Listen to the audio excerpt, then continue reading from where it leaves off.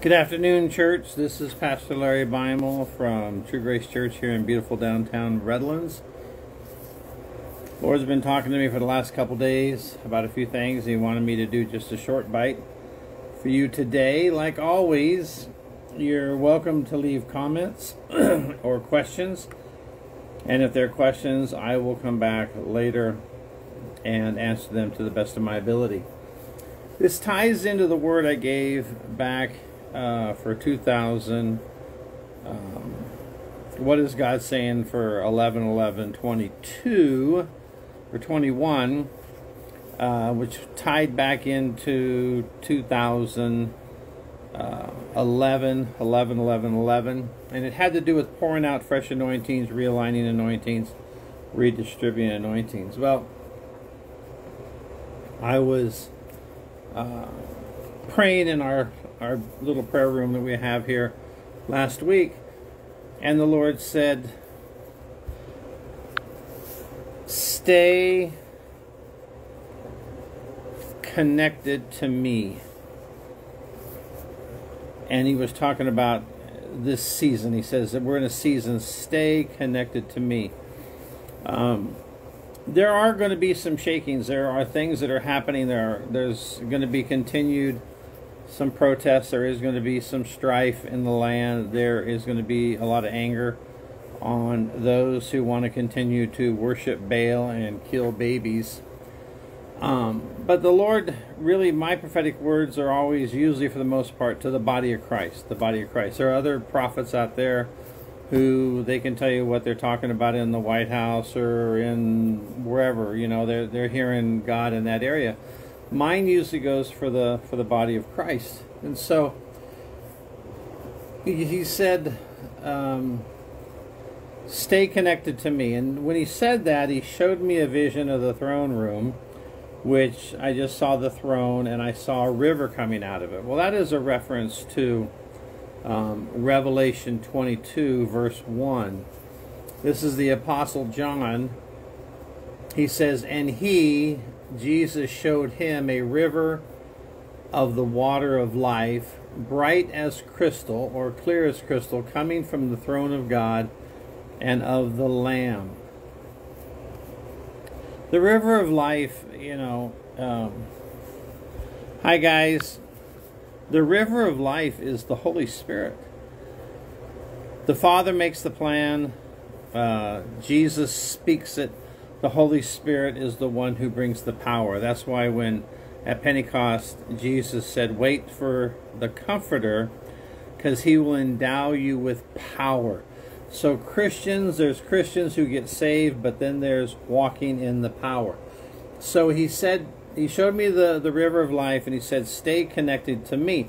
And then he showed me like a supply line, like a big pipe, you know, like five, six feet in diameter. And all these Christians were going up and they were plugging these hoses into the pipe so that they could be supplied. And when he said supply, uh, to me, it, it, it was what he was saying to me was my anointing. My anointing breaks the yoke. My anointing gives you the ability. My anointing ties you in to my realm so you can hear me uh, work in my power, my wisdom, my understanding.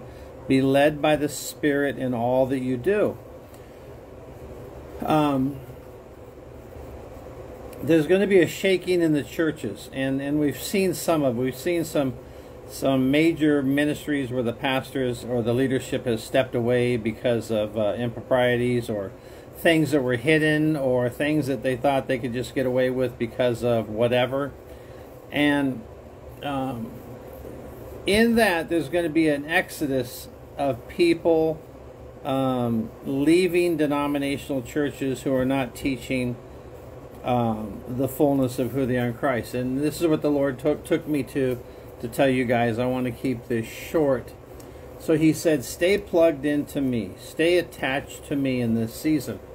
And in Mark 16, 17, this is Jesus. He's going to ascend He's giving some final words to the 11 apostles.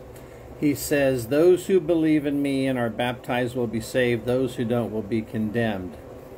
And then he goes on to say in uh, verse 17, These signs will accompany those who believe in my name. So he's saying those who are Christians and are believing in his name. And when you see the words believe in my name, that means I believe and I put faith in all of Christ's power, Jesus' power. Um, and he says, These signs will follow those who believe in my name. They will cast out demons and they will speak with new tongues. So, if we were just to do a quick survey and said how many churches or denominations believe in casting out demons, uh, it would we'd find out it's very few.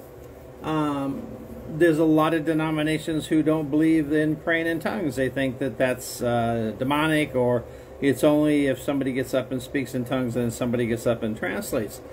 And so the one I want to tap into is casting out demons. Um, we started uh, really accelerating in this about a year ago, and the pushback I get from Christians is crazy. They want to argue about a Christian can't be possessed or what, and nowhere in the Bible does the word possess come up. It's oppressed. So when you see a Christian who is oppressed, there's strongholds, there's addictions, there's fear, there's anger, there's frustration, there's all kinds of things going on. That's a sure sign that there's a demonic stronghold. And you, as a Christian believer, can cast those off of your brothers and sisters or your leadership. Usually, it'll be a leadership that will uh, uh, embrace this, and the anointing will be on them, and they can set them free. And the other thing the Lord said to me is, He says, We're coming back in to the fivefold ministry. And this is going to be the season, or this is going to be the time of the apostles and the prophets. And you go, you know, if you a lot of denominations they say, well, there are no um, apostles anymore. They died with the original twelve. Well, that is a denominational thinking to keep people under wraps, to keep people under control. In Ephesians 4:11 through 13, the apostle Paul now this is chapter, this is Ephesians. Paul has probably now maybe 15, 20 years after his Damascus uh, encounter with Jesus, he's now saying, even then, so that's, you know, this is not the old apostles, these are new people. He said Jesus gave some as apostles, some as prophets, some as evangelists, some as pastors, and some as teachers. Okay, so what we did was the church or the religion said we're going to get rid of the apostle and the prophet because they're the power. The apostle and the prophet are the power ones. They're the leadership of, of the church, of the body of Christ. And so now we've made it a pastor driven church. So now the pastor may be totally anointed, and now he's trying to walk as the prophet and the, and the apostle over his church or his denomination. So Paul goes on to write, he gives these five offices, and they are in order. There is a hierarchy. And in verse 12, he says, For the equipping of the saints, those are people who are saved, for the work of ministry. So the apostle and the prophet and the evangelist and the pastor and the teacher is to equip each one of us that we can then be a light, that we can be the salt of the world, that we can be an example to the world. And says, continuing on, says, For the work of the saints, for the building up of the body of Christ, me and you, until we all attain to the unity of the faith or trust and of the knowledge or understanding of son of the son of god to a mature man to the measure of the stature which belongs to the fullness of christ when we look at the body of christ how many people are truly walking in the fullness of Christ? I would say most Christians, not all, I, I don't want to do that, but I would say the lion's share of Christians are beat down, they're broken, they don't know who they are, they don't understand why bad stuff's happening. Um, they have no authority in their words, they're speaking all kinds of stuff. They're crying out to God, help me, help me, help it, and they don't understand who they are. They don't understand their authority. So the apostles and the prophets are coming on board now. They're really being exposed, they're really being lifted up to build the church up and say, look, when you got born again, everything that was negative, everything that was bad, everything that was separated you from God was crucified at the cross. and was buried. Now you're a new creation in Christ, but now you still have the old flesh and you still have the old mind. The only thing that actually happened at at at, at uh, the cross for you when you got born again was your spirit man is brand new, but your soul, your mind, and your emotions and your flesh are still unregenerated, and and people don't understand that. They think when they got born again that uh, everything was perfect, and now they just sing kumbaya, and they don't do anything. Do you get sick as a Christian? Well, if you're a Christian and you're perfect, how could sickness live in the body of Christ?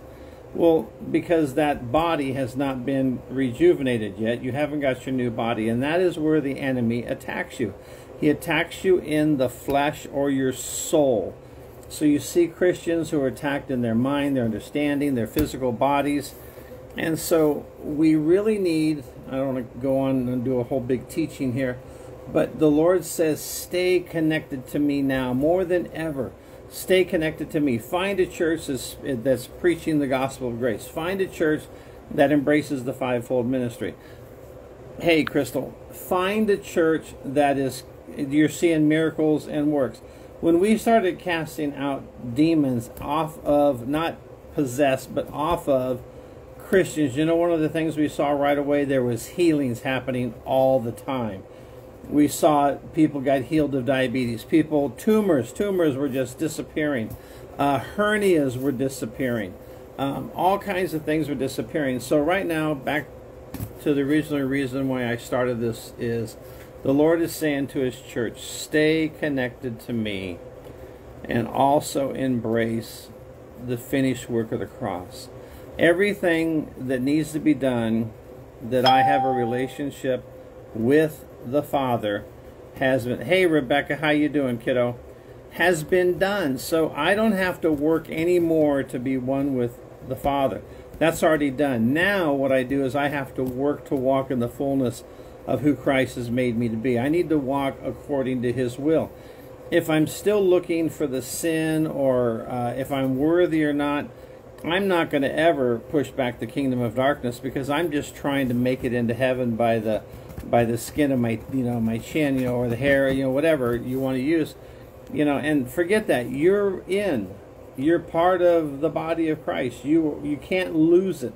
You're sealing. The the sealed when it says you've been sealed by the Holy Spirit that means that part the oneness with hello Mike the oneness with the Father was all completed at the cross but now we have to learn how to exercise and walk in the authority that Christ has given us. So, are you pushing back the kingdom of darkness or are you still trying to figure out who you are? The Lord says, That's fine. Wherever you're at today, He loves you. He says, Come on, let's go, kids. Um, there are things that are happening that are so amazing. Um, we just saw something happen this morning that uh, we had been hoping for for 50 years, and just like that, it's done. Now, it doesn't mean there'll be no more abortions. It means it goes back to the state and there will be no more federal funded money coming from the federal government um, to pay for, um, you know, abortions. And then here's another insanity thing. You're going to find out that our government has been sending money to foreign countries, especially third world countries, India, Pakistan, uh, Africa, all over Africa, to set up abortion clinics to kill babies. Now, it's Baal worship. It's Baal worship. It's always been Baal worship. The devil has always tried to get people to sacrifice their babies. And so that part has all stopped. So now it's going to be down to the individual states. So you'll see really quick what states are what we call red or blue if you want to get into politics. And so that whole federal uh, abortion thing is done with. So the next thing you're going to start seeing is you're going to start seeing some government things. You're going to see some government people falling. Uh, there will be somebody reinstated to the White House, and I believe it's going to be this year. I think it's actually going to be before September. Um, but my words are always from the Lord for the body of Christ. It's time for us to be who Christ died to make us to be. Get some place where you get the truth. Get some place where they're building you up. Get some place where they're telling you how wonderful and how loved and amazing you are in the Lord, and then start learning to use your authority. You have so much authority, and we're still running around saying, Lord, help me, help me, help me, please, please, please. And the Lord says, like He gave us an example, Moses is standing at the Red Sea. The children of Israel are pressed up against the water. Pharaoh's coming. It looks bad, and they're crying out to the Lord. What did the Lord say to Moses? He said, Why are you crying to me? Lift up your staff. The staff represents the cross. Lift up who you are in Christ and speak over your issues, over your problems.